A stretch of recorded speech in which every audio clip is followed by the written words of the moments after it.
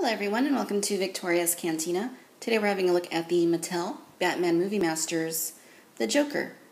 We have four different versions of the Joker that were released in the Movie Masters lineup. And we're going to go ahead and kick things off here with the very first version of the Joker as seen in this lineup. Um, there were actually two versions of this Joker that were released. Um, this is the very first one that had more shadowing around the eyes and more vibrant lips, as well as the deeper coloring to the outfit. The second version that was released had more subtle eyeshadow on the eyes, as well as less vibrant coloring on the lips, as well as more subdued coloring to the outfit. All in all, this Joker is okay. Um, the silhouette isn't bad. I think he is a little bit too hunched over and we'll give you a close up there of the head. Uh, once again, this is the very first version of Joker, um, and uh, the eyeshadowing is a little more prominent on him. The red uh, for the lips is more vibrant. Uh, I think it's a little overdone. Um, if anything, I would say that on the left side of his face, the makeup looks okay, but on the right side, it's a little too um, messy looking.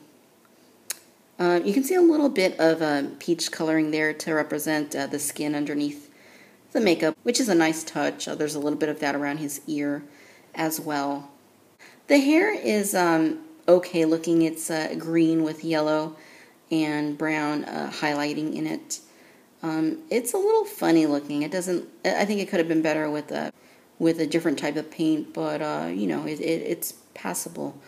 Um, the rest of the outfit is quite nice. There's um, some pretty nice detailing around the collar of his shirt um, the tie, the vest looks okay.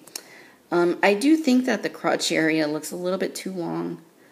Um, the chain right here is, uh, you know, plastic. It's it's okay. Uh, and the pants, you know, pretty simple. The shoes look okay. Uh, you know, pretty old and worn looking. Um, I think that his torso does look a little too long. Um, you know, compared to what he should be.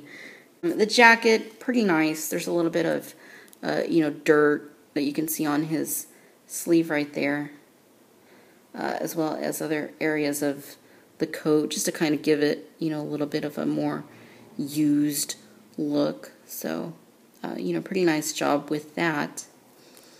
In the way of articulation, Joker has a ball hinge at the head.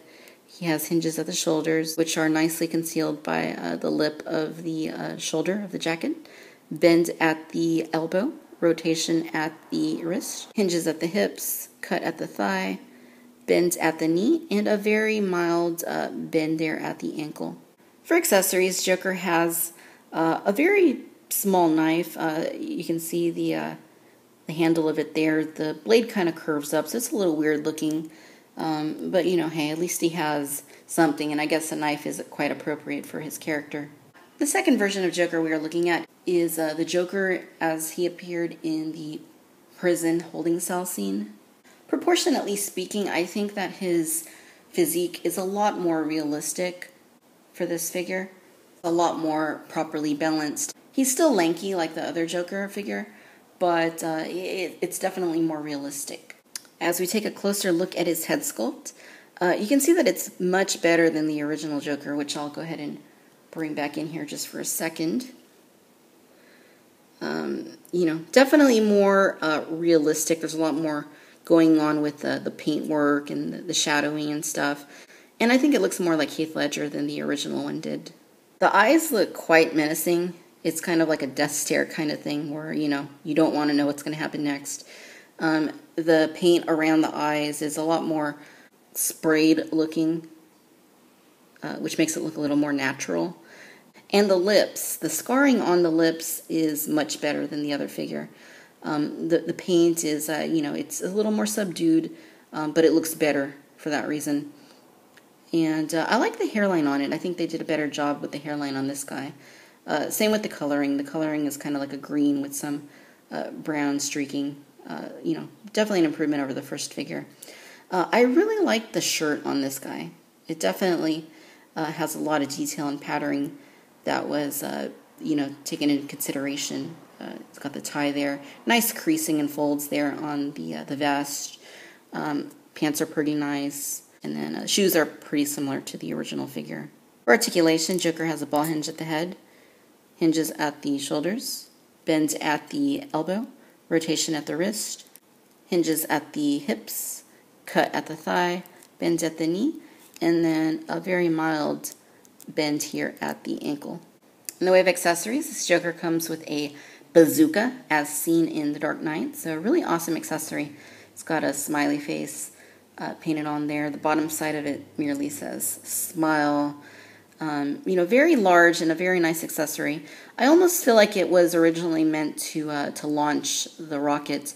Uh, it looks like this may have originally been planned to be a button or something where the missile would shoot out. You know, which would have been pretty cool, but um, you know, definitely not uh, needed. Uh, nice little viewfinder right there. Joker holds the bazooka fairly well. It is a little bit heavy, so he kind of does tend to topple over with it. But if you play around with it long enough, uh, eventually you can kind of get it to stand without too much trouble. You can also pose him holding the rocket launcher by the handle, which also looks quite nice.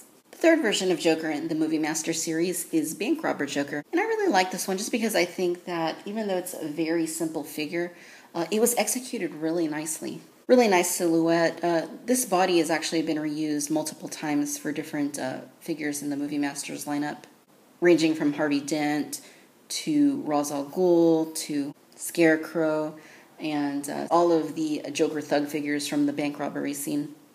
But I definitely think that it, it works really well with this uh, figure. The head is fantastic. The eyes are just very absent. You know, it has a very uh, sinister look to it. And uh, the paint on the mask itself is really nice. I really like the coloring that they use there for the blue and the uh, magenta type burgundy coloring that's on there.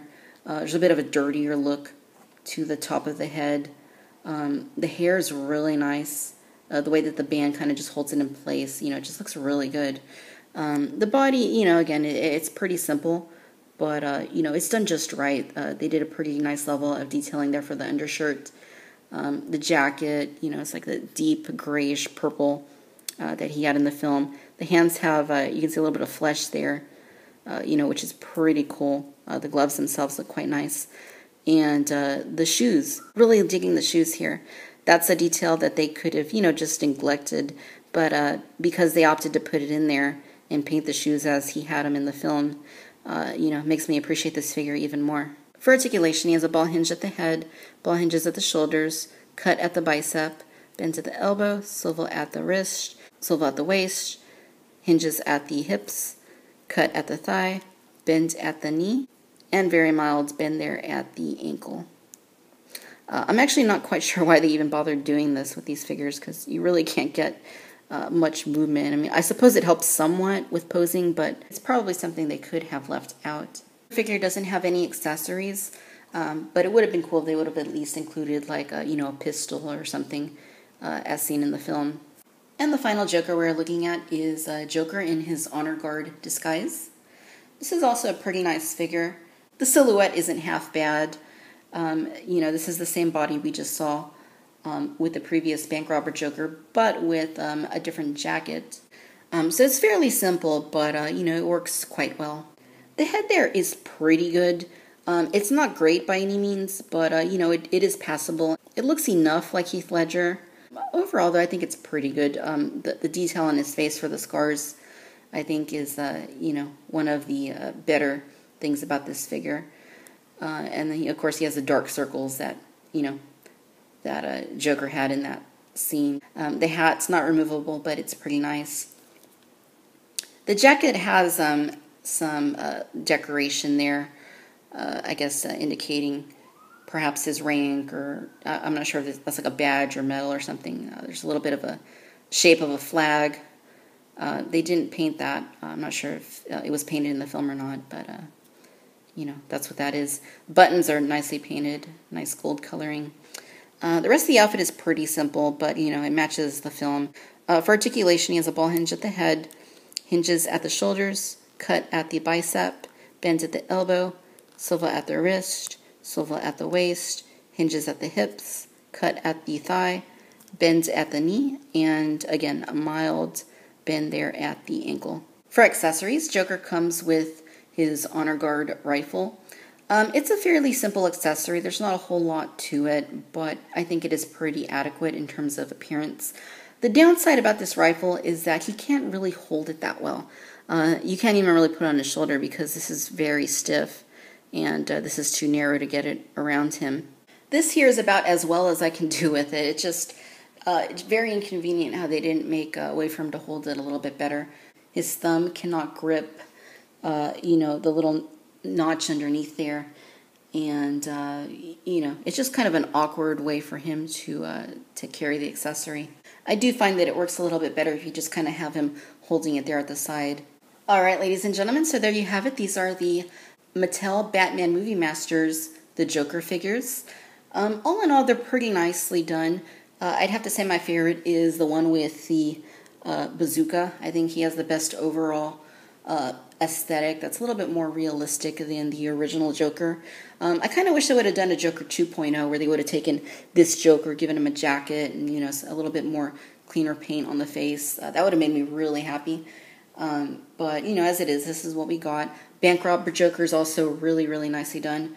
Um, Honor Guard Joker is pretty nice. Uh, if you're to get any of these, I would definitely say that the um, Bazooka Joker is probably to be the way to go. But hey, um, you know, if you're like me, you're a big fan of the Heath Ledger Joker, then you're definitely going to want to have all of them in your collection. I definitely think, though, that um, Bazooka Joker and Bank Robber Joker are the two best figures out of the four. Uh, remember, if there are any other Batman movie masters you would like me to review, let me know. I have pretty much all of them, and I will be happy to get a review done for you. Just let me know what you want to see. Thanks for watching Victoria's Cantina. Till next time. Bye bye.